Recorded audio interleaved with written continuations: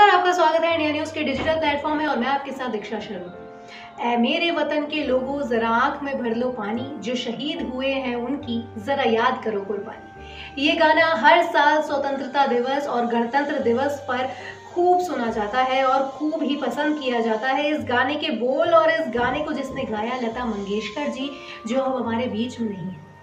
जी हाँ लता मंगेशकर जी का आज देहांत हुआ। रविवार सुबह करीबन आठ बजे उनका देहांत हुआ, बानवे साल की उम्र में उनका देहांत हुआ।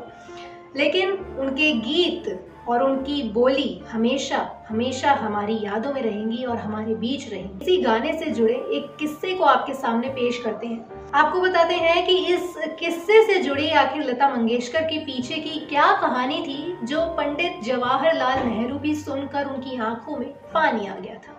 तो जी हाँ आपको बता दें कि ए मेरे वतन के लोगों, कवि प्रदीप ने लिखा है, जिसे पहले तक लता मंगेशकर गाने से इनकार करती रही। जी हाँ लता मंगेशकर ने पहले तक इस गाने को गाने से इनकार कर दिया था और कहा था कि मैं ये गाना नहीं गा पाऊँगी क्योंकि मेरे पास वक्त नहीं है। आप मेरी छोटी बहन आशा भोसले से इसे गवा सकते हैं। लेकिन कवि प्रदीप के कहने पर लता मंगेशकर मानी और उन्होंने ये गाना गाया। आपको बता दें कि लता मंगेशकर नहीं चाहती थी कि वह ये गाना अकेले गाए। वह चाहती थी कि वह अपनी बहन के साथ मिलकर इस गाने को गाए। और तकरीबन उनका ख्याल भी बिल्कुल ठीक था, लेकिन अंतिम समय पर आशा भोसले ने जाने से इनकार कर दिया। और इसकी प्रस्तुति दिल्ली में उन्नीस में होनी थी, जिसके लिए लता मंगेशकर जी घर से अकेली निकली।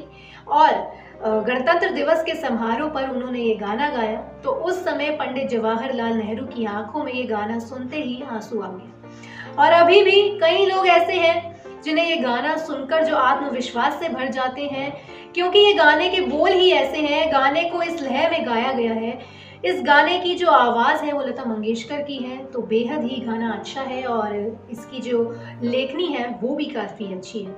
तो ये था लता मंगेशकर से जुड़ा एक किस्सा है मेरे वतन के लोगों को लेकर। अब आप लोगों को पता होगा मतलब जब तक लता मंगेशकर ये गाना गाना भी नहीं चाहती थी और कहाँ ये गाना उनकी आवाज़ से ही अब अमर हो गया है।